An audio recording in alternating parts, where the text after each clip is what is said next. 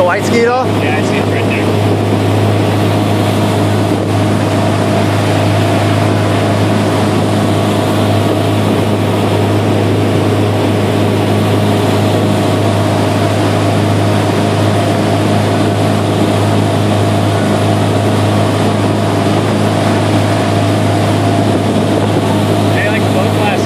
I like the boat glasses a lot.